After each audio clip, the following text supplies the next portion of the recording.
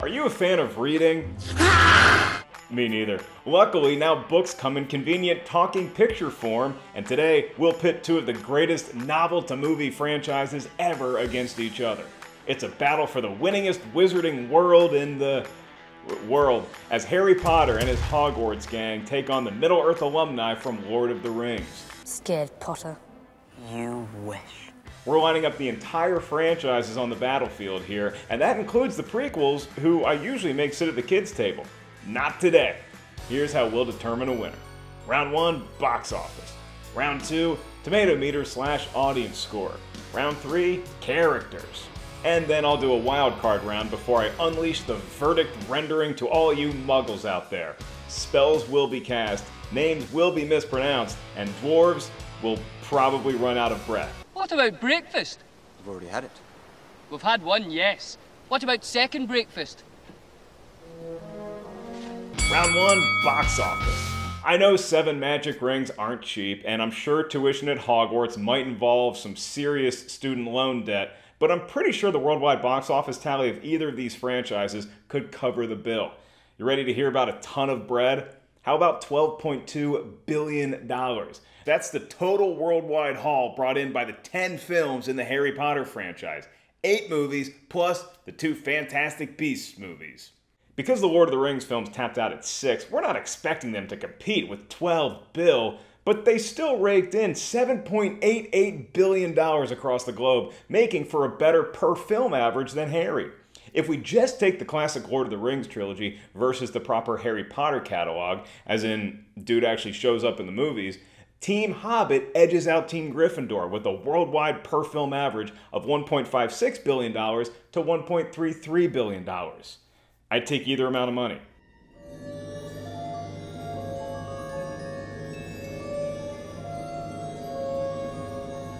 Those average numbers intensify when we look at the prequels each franchise spawned. Fantastic Beasts, those movies boast a worldwide per film average of $550 million, while the three Hobbit flicks can brag about averaging $1 billion per movie.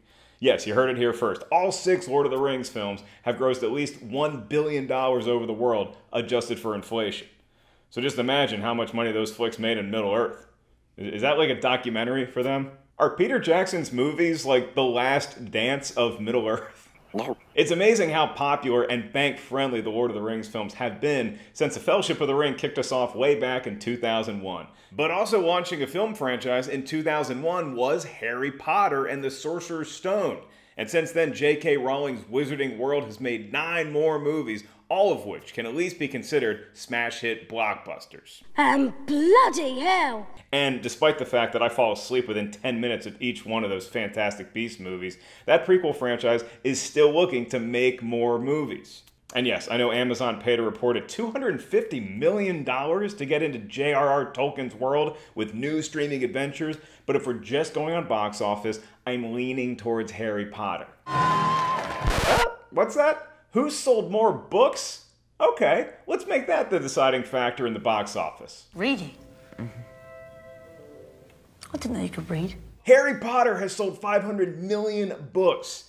And despite a decades long head start, the Lord of the Rings slash Hobbit novels have sold a mere 250 million books. It's not often a worldwide total of almost $8 billion loses you around in the box office, but Lord of the Rings ran into a boy wizard buzzsaw. Harry Potter takes round one. Well done. Round two, tomato meter slash audience score. It's clear fans love both of these celebrated franchises, and that claim is further ratified by the Rotten Tomatoes audience score. The Lord of the Rings entire franchise has a fresh average of 86%, and that's all the more impressive considering the original trilogy averages 92%. Meanwhile, Harry Potter is no slouch, averaging 79% for the entire Wizarding world and 82% for his eight movie set. Brilliant. Prequel fight! The Hobbit movies averaged 71% to Fantastic Beasts 67%. And again, maybe I would have liked those movies more if I wasn't asleep. Seriously, does Newt Scamander cast a spell called melatonin? Yes, I'm primarily upset with The Crimes of Grindelwald, which happens to be the lowest rated film of either franchise at a rotten 54%.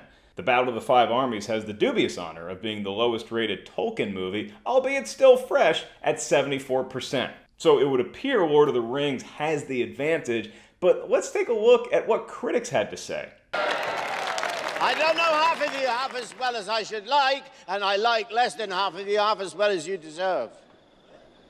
Yep, they like the movies too. And while Harry Potter and the Deathly Hallows 2 can buy the next round as the overall highest rated film in either franchise at 96%, the next three films on that list are the classic Lord of the Rings trilogy films. Two Towers is at 95%, Return of the King is at 93%, and Fellowship clocks in at 91%. Overall, Team Tolkien's tomato meter average is 79.3% compared to 78.4% for Team Rowling. Just like the box office round, it's tough to call either one of these franchises a loser in terms of the tomato meter, but a round can only have one winner, and this is the time when Gandalf tells Harry, Take it, Jason Segel. You shall not pass! Lord of the Rings wins the round, and we're tied at one. You bow to no one. Round three heroes and villains. Sure, I could have made this category something vague like characters, I usually do, but we all know what these two mythologies hinge on great heroes and imposing villains. Now, both stories put front and center protagonists who may be reluctant to reach their full potential. I can't do this, Sam. I am the chosen one. Harry Potter is a boy wizard, and besides saving the world, he has to grow up and find his place in said world. Meanwhile, Frodo and Bilbo Baggins both might rather spend their days in the Shire, occasionally having too many hard ciders at the pub. But fate had other plans, not to mention other characters. Lord of the Rings gives us more hobbits, such as Sam, Merry, and Pippin, plus a powerful wizard in Gandalf, a wise elf in Galadriel, and of course, a follically blessed king in Aragorn. Let me also give a nod to Legolas, Theoden, Elrond. There's a bunch, and if you're from Middle Earth and I didn't mention you, I have time constraints. But it also goes to show a point. These adventures, unexpected though they may have been, are all about the team. The films utilize their lengthy runtimes to highlight some individual accomplishments, but it's all in the name of unity. Look at all the different species putting aside their differences, coming together and battling to defeat the armies of Sauron. Remember that dude's eye? I see. Ugh, so creepy. We also had to deal with Witch King, Wormtongue, and Denethor, who you never want to be stuck behind at Golden Corral. And then you have Saruman, who is pulling double duty, battling both Gandalf and Yoda at the same time. But if you like yourself some villains, prepare ye for the foes Harry Potter and the Sweat Hogs had to face. Voldemort was so menacingly evil you couldn't even say his name. Voldemort? Don't use that name. We also had evil authority figures like Bellatrix Lestrange and Lucius Malfoy, or how about his kid, Draco? Bad apple from a bad seed. Oh, my father will hear about this. In addition to our big three heroes of Harry, Hermione, and Ron, we also got memorable boosts from Professor Snape and McGonagall, and also Hagrid. I'll give Newt Scamander and his prequel friends a shout out here because, look, they're trying, but I'm hard pressed to come up with a real quality contributor to keeping me awake during those fantastic beasts. But oh, Dumbledore! Yeah, old, young, I'll take D door all I can get. And fans have long debated who would win in a wizard off between Albus and Gandalf. Hardcore Potterheads want to will their guy to victory, but it's hard to imagine Gandalf not being able to lock him down. You shall not pass!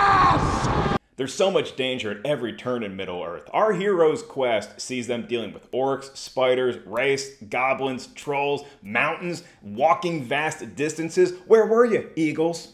Balrogs, and creepy creatures with split personalities. You don't have any friends. Nobody likes you. Not listening. Not listening. The X Factor here goes to Gollum, or as his high school friends call him, Smeagol. He's one of the most memorable characters in either franchises, and Andy Serkis's performance capture revolution put an indelible mark on Lord of the Rings about the great duality of the human psyche. Is he a human? I, who cares? Baggins loses, we eats it whole. Fair enough. However, I think the swaying factor in this round goes to Harry, Ron, and Hermione somehow managing to stay friends, and maybe more than that, while battling giant snakes, Death Eaters, Voldemort, jerky witches, whomping willows, werewolves, spiders, and trolls. They have a cave troll. Okay, so Middle Earth had Death Eaters too, but the Harry Potter Big Three, they had to deal with them while also going through puberty. Don't you hate when you conquer a Whomping Willow only to have a huge zit on your nose the night before prom? In one of the toughest rounds of all time in the history of verses, I'm gonna award Harry Potter and his gang the win in round number three. Gryffindor wins! Wild card round, most iconic. We're looking for the most iconic of the bunch, and to do that, let's start with some of each franchise's most memorable moments. With Harry Potter, just remember seeing these gorgeous sets for the first time on the big screen. Hogwarts, the Chamber of Secrets, Platform 9 and 3 quarters, they all showcase the imagination of J.K. Rowling while immersing us further into this war. Welcome, Harry, to Diagon Alley.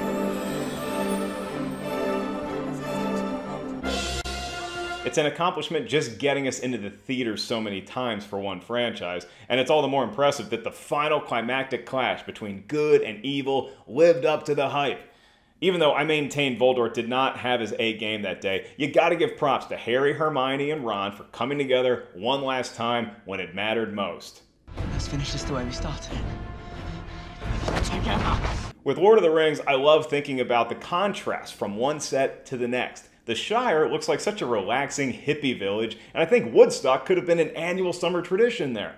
Juxtapose that with the volcanic intensity of Mordor, and then remind yourself that our brave little soul trying to take the ring there is from that late 60s Beatles commune place, the Shire.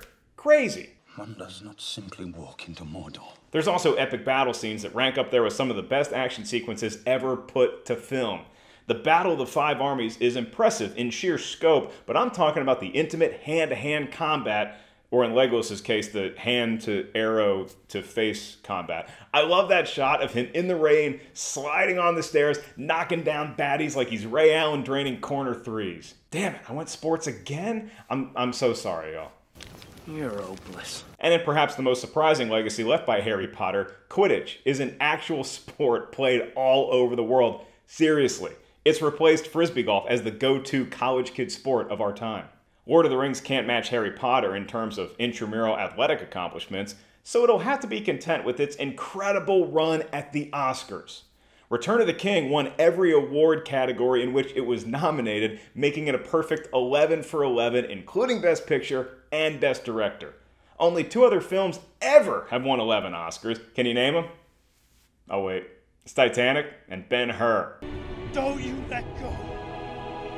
So lots of folks think Andy Serkis should have been recognized for his work as Gollum, but he'll have to be happy with that character helping the movies take a Jurassic leap forward in terms of visual effects. Plus, everyone has tried a Gollum impression at a party. Usually doesn't go well. No, I'm not going to try it.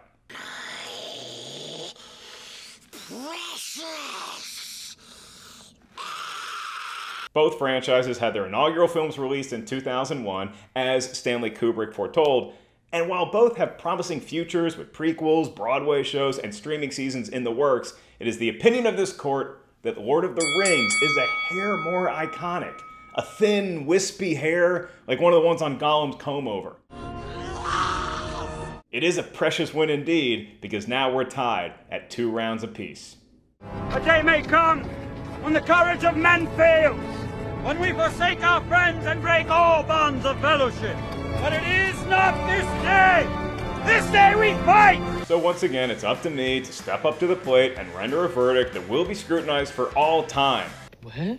In perhaps the bloodiest battle yet, I'm giving this win to Lord of the Rings. It's done. Maybe it's because the source material came out first, or I saw all those movies multiple times in theaters, but it's no shame to Harry Potter. Harry doesn't care about me. He's in New York and he's got that cursed child to worry about. Show is always sold out. Ready? Ready. All any of us care about is what you, the viewer, has to say. So comment below and type in your vote. Are you going LOTR or HP? Together, those letters spell Flort. So as long as your answer makes more sense than that, we're good. This is completely mental. Completely. Keep it classy out there on the interweb. I'd love to stay and chat more, but I booked an eagle to come whisk me home. It'll be here now any second. Never on time. Oh wait, I'm already home. Cancel the eagle.